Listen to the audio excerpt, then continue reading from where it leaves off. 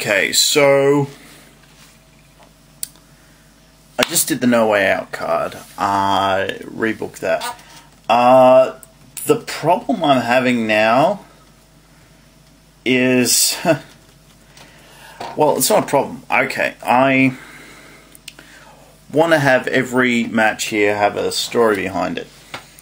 Okay, and the main focus of this is to uh, get get some uh, at least some sort of story behind the, these matches. Okay, now the thing to remember about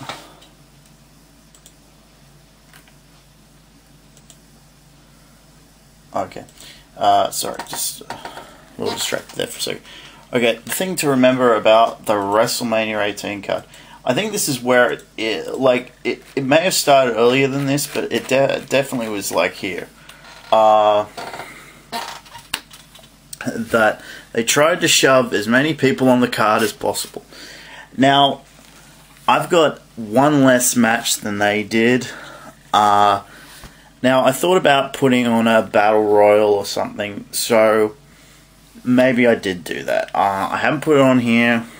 It's just that um, I've had to leave some people off the card that I thought I should have put on there. Uh, I did want to put a, a four way tag team title match on there, but it just didn't work out that like that because I did something else, and I, I, think it would work out a little bit better than what happened. Okay, kick off the show uh, with the cruiserweight title match. Uh, simple story is that uh, Hurricane is back and he is finally he's a little bit earlier in, in his development. He's not he's he's still the superhero. He's still he's turned babyface here. Really, he's not as crazy as he used to uh, be. uh, he's not trying to choke slam anyone uh, bigger than him anymore. He's decided to pursue the cruiserweight title. It's he knows he can win because his friend Gregory Helms has worn that belt before. He says, uh, and he's run up against, he's gone through, he's won a number one contendership battle royal or something, and he's in the, he's main event, he's on the card at WrestleMania. And I think this is a good place to put it. Uh, I think this would be a good way to debut the Cruiserweight title at WrestleMania, kick it off the show.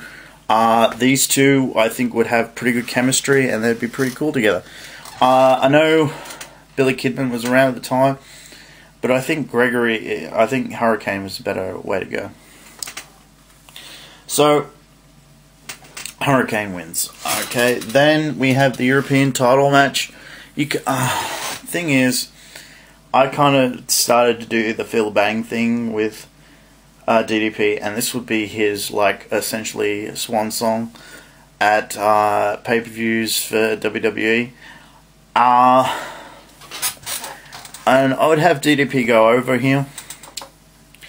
Uh, and DDP was kind of that he knew he he was probably didn't have much longer in the business anyway.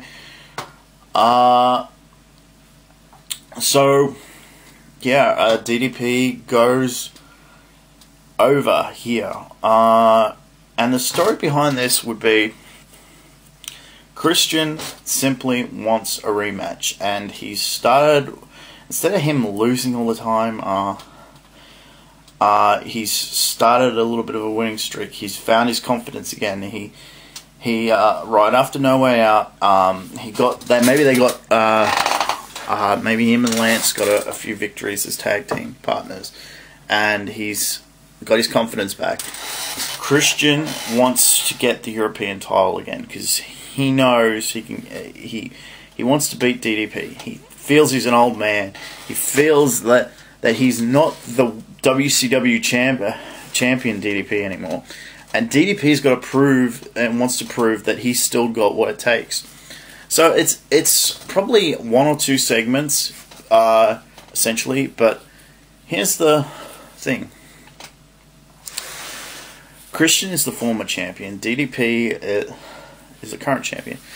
and Chris, uh, and essentially that's what it is. Is uh, it's a rematch. It's on a big show, and I think both these guys did put on a good match, and it went over. Uh, then we go instead of a one-on-one match to kick off the show uh, for the Intercontinental Championship. I decided to put Fatal Four Way. Edge versus William Regal in the, and this would be billed also as Edge's last chance to get back his belt.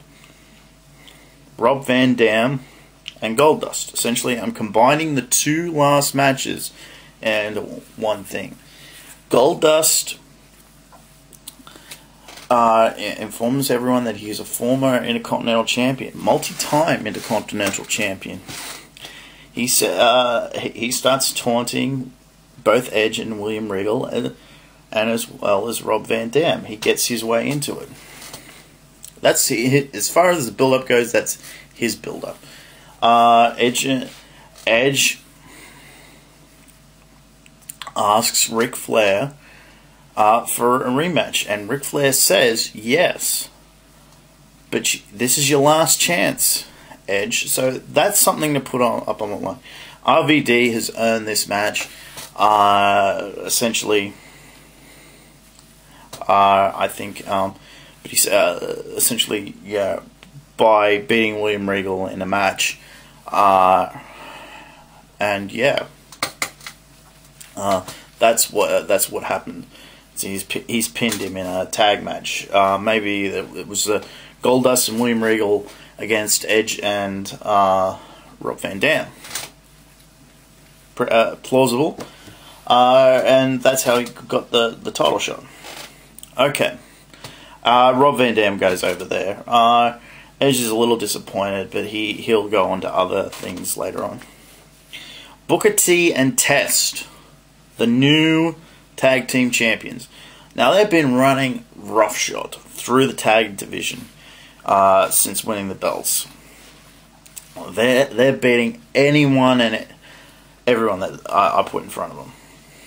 Uh, but they uh, have come across the Hardys. The Hardys are the new number one contenders, uh, and it's just essentially that's the story. Is the SmackDown before this, the Hardys uh, boast about being the best tag team uh, in WWE in, in, at at the moment. They are multi-time tag team champions. They they've beaten the best tag teams out there. Booker T and Test say, "Well, we." We're former WCW Tag Team Champions and former WWE Tag Team Champions, just like you guys. Uh, and I, and if I'm wrong here, tell me. Weren't the Hardys one the ones that beat these guys? But anyway, uh, and if that's true, they'll bring that up and everything. But here, here we go. Uh, and I, I would have Booker T and Test go over here because I, I want to build up both these guys. I think Test uh, ended up not having as much talent, and uh, but he he had, definitely had the physique and everything for this. He had all the ingredients. It's just certain things didn't work out for him. Booker T, proven commodity, and I think this is a better way than having him fight Edge over a shampoo deal in Japan. Okay, pretty silly. Uh then we go on to a match I'm pretty proud of putting together. And and I think this is a better way to handle certain things. Um, originally on the card it was Maven versus Goldust for the hardcore title and then every man and his dog interfered and ended up winning the belt that night. Uh, I wanted to bring some legitimacy back to the hardcore division, so immediately uh, we, we had pretty much forgotten about the hardcore uh, 24 7 rule. Is brought up sometime in between time that that uh, rule has been suspended. Uh, now it's just the booking of the matches and everything. And I know some people like that that 24 7 rule. I hate it. Uh, I don't like it any. Uh, like, I think it had its time and its place, but now we need to move on, and um, I'm not entirely sure if I'm going to be merging belts yet or not, but uh, I do have a mind of where everything else goes. But here we go. Maven has held on to the championship miraculously by this point. He's beaten certain people in this match. But anyway, we're going into this. Uh, and it is called the Hardcore Title Invitational. Essentially, the thing is, uh, you, you, you can go into this match if you so desire. Uh, there are certain spots uh, available, and here are the participants. Maven is the champion. He's defending against Raven, Tommy Dreamer, Hulk, Holly, Spike Dudley, St Steven Richards, Al Snow, Justin Credible, and Perry Saturn.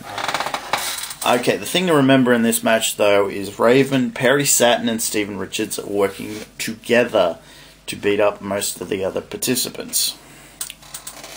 Uh, but, and that includes Maven. Maven is doing horribly in this match. He's uh, he's essentially like Crash Holly. He's trying his hardest, but he's getting beaten the hell out of. And it's actually Tommy Dreamer that comes out on top here and wins the hardcore title uh, for the first time. Okay, and yeah, that's the match. Uh, then we go on to something a little bit lighter. I'd give these guys a little bit more time. Trish Stratus, Jazz, and Lita. Uh, Lita was not at the side of the Hardys, and that's probably one of the main reasons they lost. Uh, uh, so Lita again puts in an effort, and seeing as this was in Toronto, Trish Stratus goes over because, uh, as it turned out, Jazz was got injured anyway. So uh, uh, I'm having Trish go over in our hometown. Uh, and she doesn't beat Jazz though; she beats Lita. So uh, that's how that goes down. All right, here's what's the thing is. Uh, I needed some more space on the card. And I think this is a better way to handle the NWO storyline as opposed to what they did. Okay, they did a do a match that got a pretty good reaction and it was essentially Austin and The Rock teaming up against the three members of the NWO at the time. Anyway, here's what happens. Uh, Ric Flair challenges Hogan for a match, uh, and it's horrible. uh, and the thing is, the Hogan goes over. What a shock. Uh, so Ric Flair uh, decides to book another match the following week, which is Austin and Rock versus the Outsiders as well. Uh, and the Outsiders, using some dirty tactics, managed to go over and beat up both Austin and Rock. All three of these guys want their revenge. Ric Flair announces that the NWO will be competing at the at WrestleMania in a six-man tag. They'll be taking on himself, Stone Cold Steve Austin, and The Rock. Now, I think this would give everybody little moments, and plus, as well, this would give Kevin Nash something to do. Essentially, uh, Scott Hall and the other three would be taking care of most of the action. Uh, Kevin Nash would probably spend most of the time outside the ring. He would do a little bit because he was injured at the time, so he wouldn't be doing too much. Uh, but I think he could. He would at least do little things. He, um, and you could have him his, his arm in a sling or something. But the important thing is this is a good way to placate everyone because Ric Flair is the one that's going to be taking the fall here and chances are it's Hogan that's going to be dropping the leg and one, two, three. Uh, and later on, you could do the Austin versus Hogan thing, but I think yes, that definitely needs to happen at WrestleMania. but it's a good way to uh, do things. And plus, uh, you could do a thing where the NWO brawl with Rock and he's out uh, for the thing, and Austin's going to be going away anyway. So, yeah. Uh, then we have Big Show versus Kurt Angle. Both guys kind of. It's very similar to what happened uh, with Benoit and Kurt, uh, and Kurt Angle the previous year. They had just decided that they wanted a match at WrestleMania, and these two essentially do that. Uh, so, yeah, that's what happens. Uh, essentially, that's what happens, yeah. Okay, then we got Undertaker versus Kane. Uh, just because I didn't want to see Kurt I don't think there was much going on between Kurt and Kane. I don't know why that match really happened. It's not. It, it, it's not that they, they those two didn't have a good match. It's just like there was no real story there. There, and I think there's a story here. Um, the thing about this is, uh, Taker would have been getting in Ric Flair's face, and Kane would be the one standing up for him, and they would, and that's what would happen. And well, you know, book the match. Uh, then it's the WWF title match: Chris Jericho versus Triple H. Uh, Triple H goes over.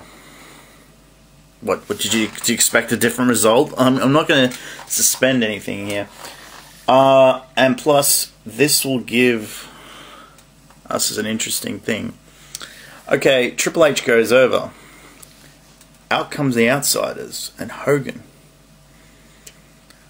as well as Vince McMahon. They got this little bag, uh, and they're like, uh, and everyone's like, "What? What the heck's going on?" Uh, and out of the bag, they pull a shirt. It says NWO on it. They hand it all. Uh, they hand it to Triple H. He looks at it. He looks back up at him. He puts on the shirt.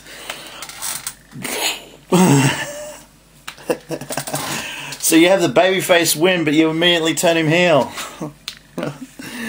so yeah, the champion is part of the NWO. and it's a good way to do things. And um, Hogan would have been getting a babyface reaction, and eventually, it's a good way to get Hogan out of the NWO as well. So yeah, and be like, well, yeah, remember he's in the family. uh, but yeah, and uh, and Jericho's like, what? And then you even have Steph and Triple H reunite. It was a whole like the whole thing was a swerve screw Jericho. That's all. You could do the whole mankind thing where he's like, well, uh, Jericho's like, what the heck? What the heck's going on? And then you beat up, and then you got a hot, hot new babyface. Jericho's turned babyface as well. So, see, a lot of this I'm just coming off uh, the top of my head. Uh, like I'd planned the the shirt and everything, but yeah, that's so immediately they got the belt in there grasp. So, what do you think about that, guys? I think that's a good way to end WrestleMania 18, the NWO Mania. Okay, so stay tuned. We'll have Backlash in a little while.